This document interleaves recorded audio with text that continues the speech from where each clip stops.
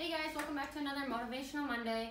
This week we're going to learn how to do a bicep curl with the rope attachment. So what we're going to do is we're going to lower the cable all the way down to the bottom.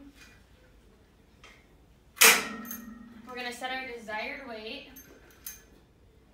And on this we want to stand a little back so the rope is kind of at an angle. And then we just curl up. We're going to have a neutral grip. We're using our biceps to curl.